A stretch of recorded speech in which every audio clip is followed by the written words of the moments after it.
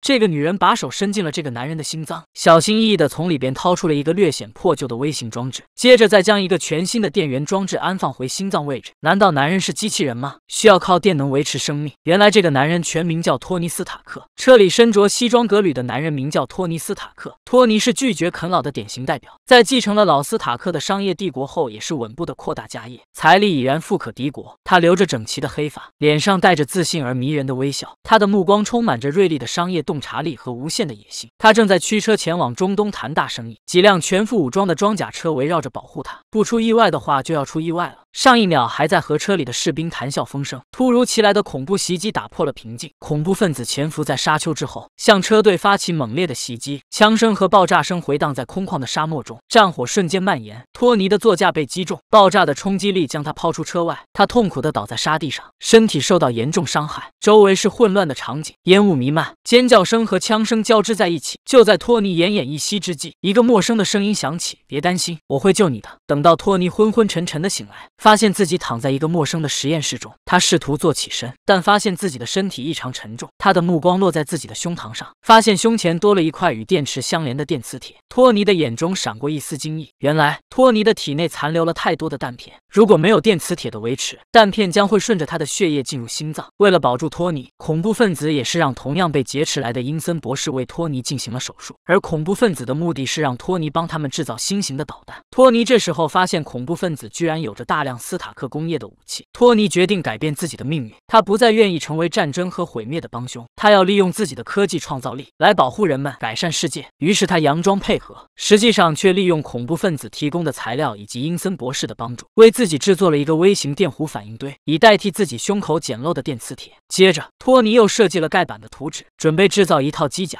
可就在博士帮他装机甲时，恐怖分子却识破了他们的计谋。为了帮托尼争取到更多的时间，阴森博士抄起。枪就和恐怖分子开启了火拼，而托尼成功启动了机甲。恐怖分子看着面前巨大的钢铁机甲，吓得拔腿就跑。但在火拼之下的博士受重伤，倒在了路边。而看着死去的阴森，托尼愤怒地追了出去。化身喷火战士将所有的军火库都点燃，然后启动了机甲的喷射装置。可简陋的机甲很快的失去了动力，所幸被军方的直升机发现，捡回了一条命。这也让小辣椒喜极而泣。回到自己的城市后，很快安排了一次新闻发布会，宣布关闭武器部门，重新定义。公司的发展方向，这一举言行举措不光让现场的媒体炸了锅，更引来了合伙人斯坦的强烈反对。托尼对斯坦解释，到电弧反应堆前途无量，并且自己已经做出来了一个小型电弧反应堆。接着敞开胸怀向斯坦展示成品。托尼也继续改进并研发出来了新的反应堆，并且也在小辣椒的帮助下换下了之前的那款。此时的托尼还不知道这个玩意还能再救一次自己的命。这个女人把手伸进了这个男人的心脏，小心翼翼地从里边掏出了一个略显破旧的微型装置，接着再将将。一个全新的电源装置安放回心脏位置，难道男人是机器人吗？需要靠电能维持生命吗？很长的时间里面，托尼就在自己的实验室里废寝忘食，沉迷于装甲的改造配置，无法自拔。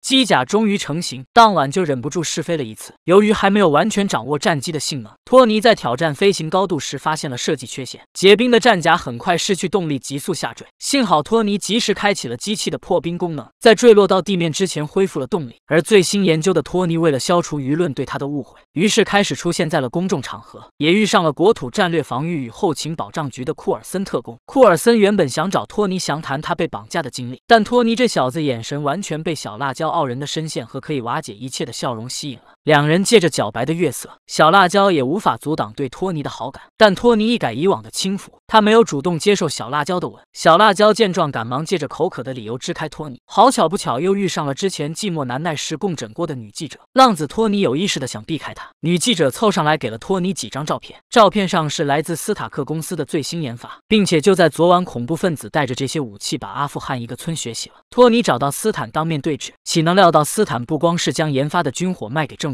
还卖给了恐怖分子，并且告诉托尼他已经被董事会炒鱿鱼，留下托尼在原地亚麻呆住了。这个女人把手伸进了这个男人的心脏，小心翼翼地从里边掏出了一个略显破旧的微型装置，接着再将一个全新的电源装置安放回心脏位置。难道男人是机器人吗？需要靠电能维持生命？托尼很快调整回来，决定穿戴上自己更加精良的装备，去到恐怖分子扫荡的地方挽救生命，弥补过去自己犯下的错误。一个母亲紧紧地抱着自己的孩子，嘴里不断的求饶。原来，罪恶的恐恐怖分子此时正拿着把 AK 四七对准了母女俩。就在千钧一发之际，托尼及时赶到现场，并且用一发炮弹送走了持枪的恐怖分子。托尼飞上天空，正准备把所有的军火都销毁掉，竟被一发坦克的炮弹击落了下来。烟雾消散，托尼毫发未伤，对着坦克就是一发导弹。没等导弹爆炸，就转身潇洒离开。但斯坦却突然来到了恐怖分子的大本营，并带走了托尼的机甲图纸，并清理了剩下的恐怖分子，打算自己制作出一个钢铁机甲。与此同时，小辣椒还是愿意帮助托尼找到斯坦暗中交易的证据。于是第二天，小辣椒便来到了斯坦的办公室，并用托尼交给他的密钥进入了系统。小辣椒这才发现，正是斯坦雇佣了恐怖分子除掉托尼。突然，办公室的门被斯坦推开，幸好小辣椒强装镇定，成功敷衍了斯坦。等到斯坦发现资料全部被拷贝的时候，已经晚了，只能眼睁睁地看着小辣椒和库尔森特工一同离去。在得知自己的科学家没办法创造出一个微型的电弧反应堆后，冒险潜入了托尼的家中，并用武器将托尼麻痹，残忍地取走了托尼的微型核反应堆，并且说出了杀人诛心的话，扬言要杀掉无辜的小辣椒。托尼强撑着身子爬到了实验室，给自己换上了出版的微型电弧反应堆，并立马动身前去阻止斯坦的邪恶计划。托尼和斯坦都身着钢铁机甲，进行了激烈的肉搏。因为是出版电弧反应堆的原因，托尼的续航上远不如斯坦。情急之下，托尼灵光一闪，让小辣椒将实验室的所有核反应堆都加到最大，汇聚起来的能量足以摧毁斯坦。托尼引诱斯坦来到了陷阱，斯坦的钢铁机甲被巨大的能量击中，失去意识的掉入了核反应堆中，灰飞烟灭。影片的最后，库尔森特工也是为托尼准备了面对媒体的说辞。然而，不按常理出牌的托尼也是在发布会上就向世人说出了那句“我就是钢铁侠”。